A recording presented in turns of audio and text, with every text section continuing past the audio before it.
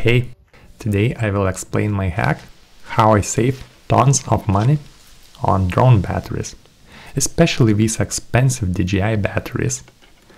But first, let's put spare batteries on charge, so we will be ready after I finish my first flight with the Avata. And yeah, I have bought the Avata drone again.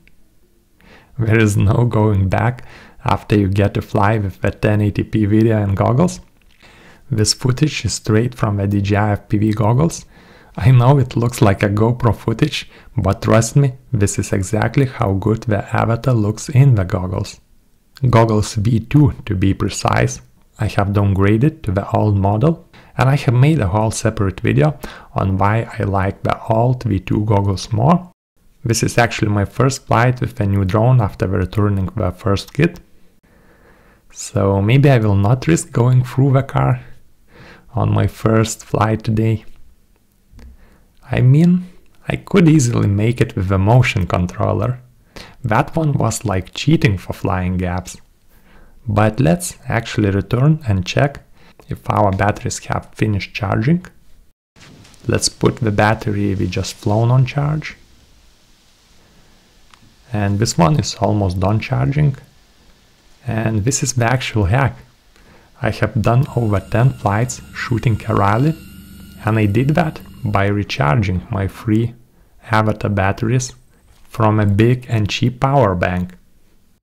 I do the same with the regular FPV drone batteries and this is my old power bank, now I got a new larger one which can recharge over 10 of these Avata batteries. And the best part? The whole station costs less than two extra DJI Avata batteries. It has 60 watts USB-C port, so it does quick charging, fully tops the Avata battery in about 30 minutes. Oh, and this is not a launch pad, it's a solar panel. 100 watts panel can recharge the whole power station in about 6 hours of sun. On average day I get around 60 watts from a sun, so 100 watt solar panel will top the power station in less than a day. Oh, and look, the big battery is done charging. Yeah, the DJI the PV drone is much faster than the Avata. This video is not even sped up. Let's switch to the manual mode now. And yeah, this is bad. The old DJI drone is so bad.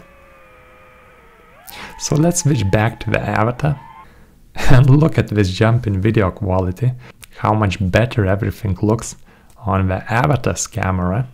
Way better colors and way bigger dynamic range.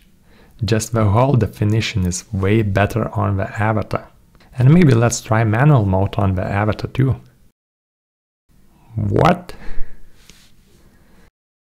What the hell is this?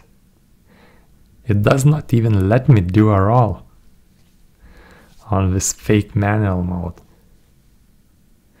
I guess I will need to check the settings after I land. And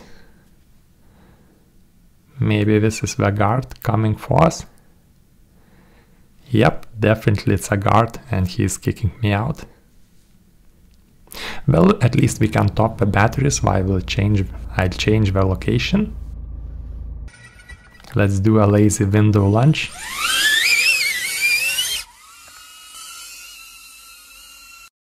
And I guess this is it for today. Bonus hack, you can use a cheap car charger to put another 100 watts USB-C port. So I really do like the new station. It has 60 watts power delivery port, perfect for the Avata, and I can plug goggles, remote, action camera, and have charging all at the same time. Plug DJI wall charger to AC socket, and maybe two more regular 6S FPV batteries.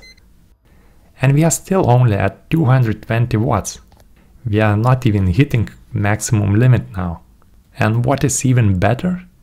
The station can be charged from solar, while it is being used charging all these batteries. So since I got the station, I haven't charged a single drone battery from a wall. I have been flying literally for free on solar power all the summer. So yeah, definitely a must have for any drone pilot. I will put a promo code in the video description. And thanks for watching, subscribe. I guess I will be abu I guess I will be abusing the little Avata in full manual mode in the next video. Or maybe leave a comment below if you want to see my solar setup.